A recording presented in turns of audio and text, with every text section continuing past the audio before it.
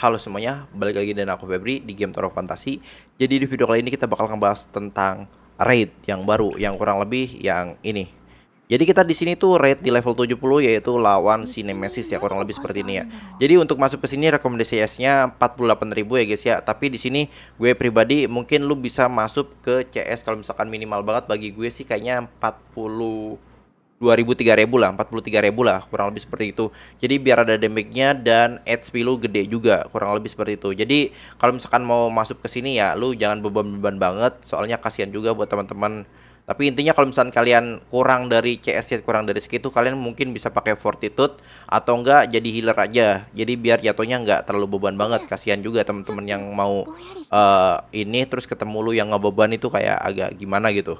Oke intinya lu kalau misalnya nggak ada damage lu bisa pakai fortitude atau enggak pakai healing aja ya kurang lebih seperti itu. Nah sebelum kalian masuk kalian usahakan buat ngeset relik kalian. Ngeset relik kalian yaitu ada rekomendasi tiga relik yang mungkin kalian harus pakai. Kalau misalnya kalian nggak punya ya uh, boleh pakai alternatifnya apa aja. Tapi ini relik sangat berguna banget buat di uh, raid sekarang. Yaitu pertama adalah ini si alternate si Destiny karena ketika kalian itu tuh HP-nya di bawah 20% tuh uh, dari keserangan musuh tuh kayak lu tuh nggak bakal berkurang tuh HP-nya di bawah 20% kurang lebih kayak lu tuh bakal kebal gitu selama 8 detik itu kurang lebih seperti itu. Asalkan lu ada di dalam lingkarannya. Nih lingkarannya kurang lebih ini.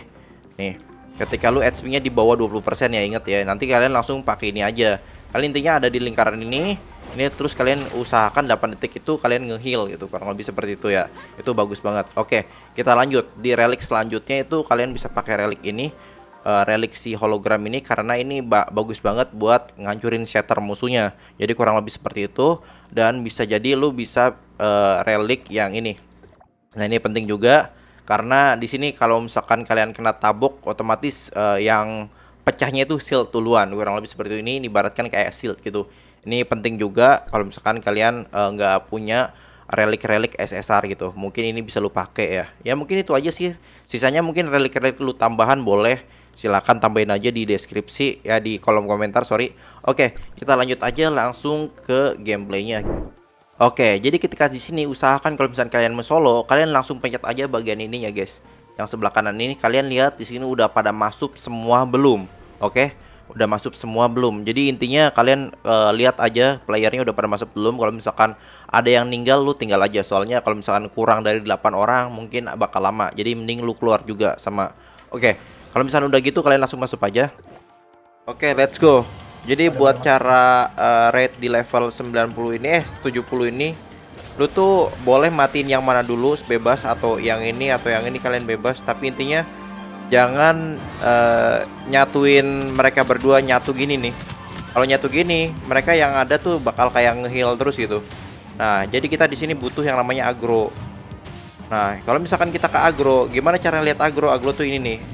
Ini si NX Embel tuh yang lagi diincer. Nah sebisa mungkin si orang itu tuh kayak uh, ngejauhin gitu satu gitu. Setter setter setter Ah. Lambatnya kambing, kambing. Awas tuh bola-bola itu tuh. Bola-bola naik kucing oke udah mati. Nice.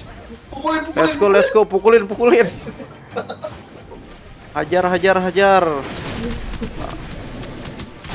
Eh, dia ngesil. Kok ngesil sih? Ngapain ngesil kamu, Dede?